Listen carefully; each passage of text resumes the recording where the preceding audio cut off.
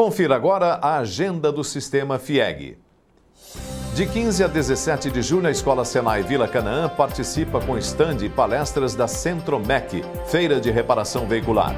A unidade vai apresentar os produtos e serviços oferecidos pela instituição para o setor automotivo.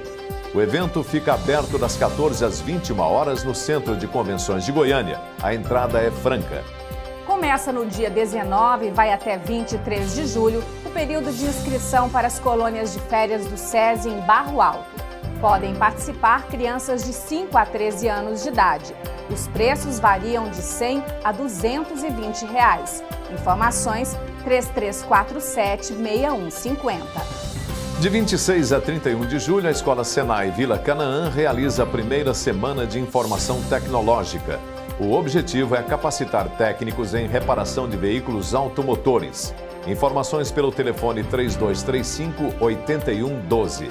Até o dia 30 de julho estão abertas as inscrições ao Prêmio FINEP Edição 2010. Esse ano, todos os vencedores vão receber recursos do Programa de Subvenção Econômica, que variam de 120 mil a 2 milhões de reais, para o desenvolvimento de projetos nas áreas de ciência, tecnologia e inovação. Outra novidade: a FINEP vai premiar as melhores práticas em gestão da inovação.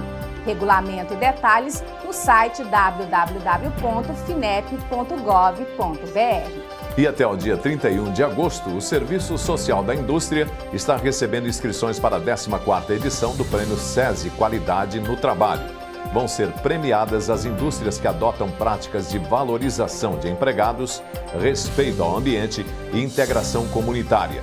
O objetivo é despertar empregados e empregadores para o exercício da cidadania nas relações de trabalho. Informações 4002-6213. E o Jornal da Indústria de hoje fica por aqui. A gente espera você no próximo programa. Obrigada pela companhia e até lá!